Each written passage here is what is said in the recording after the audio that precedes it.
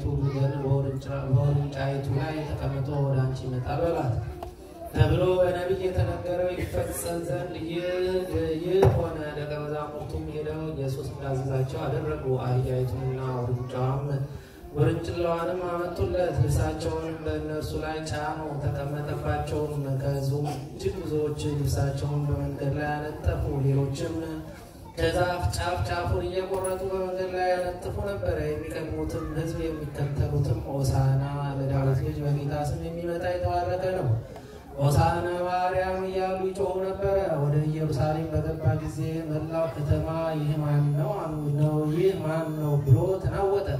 ሕዝቡም ይህ ከገሊላ ናዝሬት የመጣ ነቢዩ ኢየሱስ ነው አሉ። ኢየሱስም ወደ መቅደስ ገባና በመቅደስ የሚሸጡትንና የሚገዙትን ሁሉ አወጣ። የገንዘብ ለዋጮችን ገበታዎች፣ የርግብ ሻጮችንም ወንበሮች ገለባበጠ። ቤቴ የጸሎት ቤት ትባላለች ተብሎ ተጽፏል፣ እናንተ ግን የወንበዴዎች ዋሻ አደረጋችኋት አላቸው። በመቅደስም ዕውሮችና አንከሶች ወደ እርሱ ቀረቡና ፈወሳቸው። ነገር ግን የካህናት አለቆችና ጻፎች ያደረገውን ድንቅ ድንቅ በመቅደስ ሆሳዕና ለዳዊት ልጅ እያሉ የሚጮሁትን ልጆች ባዩ ጊዜ ተቆጡት። እነዚህ የሚሉትን አትሰማምን አሉት። ኢየሱስም እሰማለሁ ከሕፃናትና ከሚጠቡ አፍ ምስጋናን ለራስህ አዘጋጀህ የሚለውን ቃል ከቶ አላነበባችሁምን? አላቸው። ትቷቸውም ከከተማ ወደ ቢታንያ ካለ ባለቤት ሰው በሰማይና ምድር ያልፋል፣ ቃሌ ግን አያልፍም አለ ጌታ ለደቀ መዛሙርቱ። ሃሌ ሃሌ ሃሌሉያ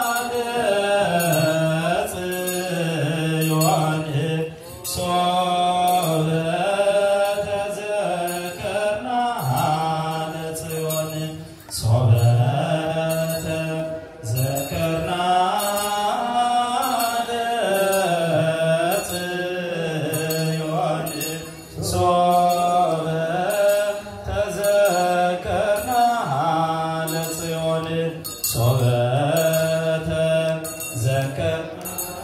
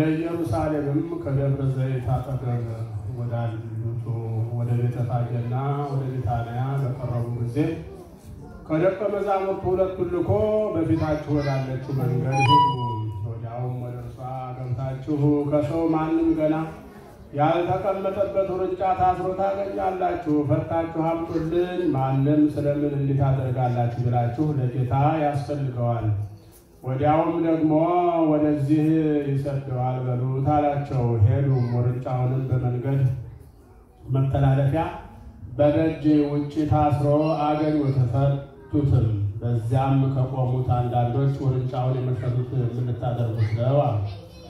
እነርሱም ኢየሱስ እንዳዘዘ አሏቸው። ተዋቸውም። ውርንጫውንም ወደ ኢየሱስ አመጡት። ልብሳቸውንም በላዩ ጣሉ፣ ተቀመጡበትም። ብዙ ሰዎችም ልብሳቸውን በመንገድ ላይ አነጠፉ። ሌሎችም ከዛፍ ቅጠሎችን እየቆረጡ ያነጥፉ ጀመር። የሚቀድሙትም የሚከተሉትም ሆሳዕና በጌታ ስም የሚመጣ የተባረከ ነው፣ በጌታ ስም የምትመጣ የአባታችን የዳዊት መንግሥት የተባረከች ናት፣ ሆሳዕና በአርያም እያሉ ይጮኹ ነበረ። ኢየሱስም ወደ ኢየሩሳሌም ወደ መቅደስ ገባ። ዘወር ብሎም ሁሉን ከተመለከተ በኋላ ጊዜው መሽቶ ስለነበረ ከአስራ ሁለቱ ጋራ ወደ ቢታንያ ወጣ። በማግስቱም ከቢታንያ ሲወጡ ተራ በቅጠልም ያላት በለስ ከሩቅ አይቶ ምናልባት አንዳች ያገኝባት እንደሆነ ብሎ መጣ። ነገር ግን የበለስ ወራት አልነበረምና መጥቶ ከቅጠል በቀር ምንም አላገኘባትም። ጆሮ ያለው መስማትን ይስማ። ሃሌሉያ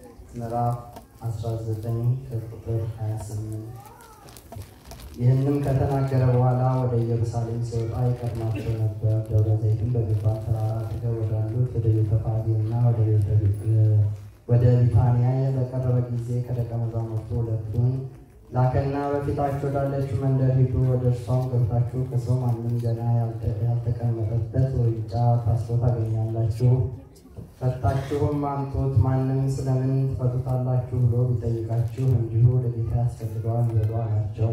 የተላኩትም የሄደው እንዳላቸው አገኙ። እነርሱም ውርንጫውን ሲፈቱ ጌቶች ውርንጫውን ስለምን ትፈቱታላችሁ አሏቸው።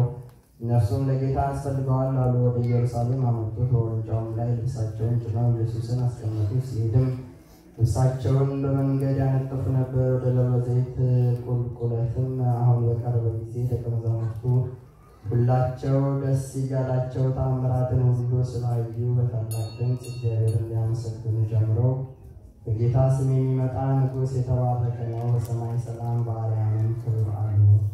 ከሕዝብ መካከል ከፈሪሳውያን አንዳንዱ መምህር ሆይ ደቀ መዛሙርትን ገስጻቸው አሉ። መልሶም እላችኋለሁ እነዚህ ዝም ቢሉ ድንጋዮች ይጮኻሉ አላቸው። ሲቀርብም ከተማይቱን አይቶ አለቀሰላት እንዲህ እያለ ለሰላምሽ የሚሆን የሚሆነውን በዚህ ቀን አንቺስ እንኳ ብታውቂ፣ አሁን ግን ከዓይንሽ ተሰውሯል። ወራት ይመጣብሻልና ጠላቶችሽን ቅጥር ይቀጥሩብሻል፣ ይከቡሻልን፣ በየ- በየበኩሉም ያስጨንቁሻል። አንቺንም በአንቺም ውስጥ የሚኖሩትን ልጆችሽን ወደ ታች ይጥላሉ። በአንቺ ውስጥም ድንጋይ በድንጋይ ላይ አይ- አይተውም። የመጎብኘትሽን ዘመን አላወቅሽምና ወደ መቅደስም ገብቶ በእርሱ የሚሸጡትን የሚገዙትንም ያወጣ ጀመር። እርሱም ቤቴ የጸሎት ቤት ይሆናል ተብሎ ተጽፏል፣ እናንተ ግን የወንበዴዎች ዋሻ አደረጋችሁት አላቸው። ዕለት ዕለትም በመቅደስ ያስተምር ነበር። ነገር ግን የካህናት አለቆችና ጻፎች፣ የሕዝቡ ታላላቆችም ሊገድሉት ይፈልጉ ነበር፣ የሚያድሩበት የሚያደርጉበትንም አጡ። ሕዝቡ ሁሉ በትምህርቱ ይመሰጡ ነበርና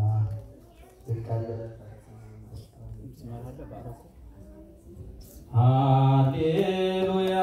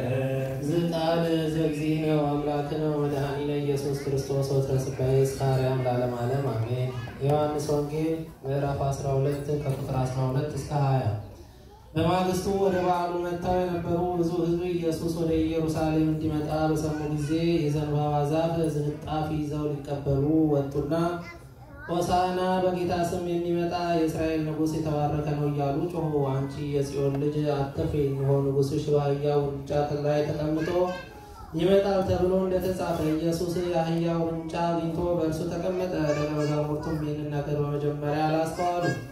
ነገር ግን ኢየሱስ ከከበረ በኋላ በዚያን ጊዜ ይህ ስለ እርሱ እንደተጻፈ ይህንንም እንዳደረጉለት ትዝ አላቸው። አልዓዛርንም ከመቃብር ጠርቶ ከሙታን ሲያስነሳው ከእርሱ ጋር የነበሩት ሕዝብ ይመሰክሩለት ነበረ። ስለዚህም ደግሞ ሕዝቡ ይህንን ምልክት እንዳደረገ ስለሰሙ ሊቀበሉት ወጡ። ስለዚህ ፈሪሳውያን እርስ በርሳቸው አንድስ እንኳን ልታደርጉ እንዳይቻላችሁ ታያላችሁን? እነሆ ዓለሙ በመላው ተከትሎት ሄዷል ተባባሉ።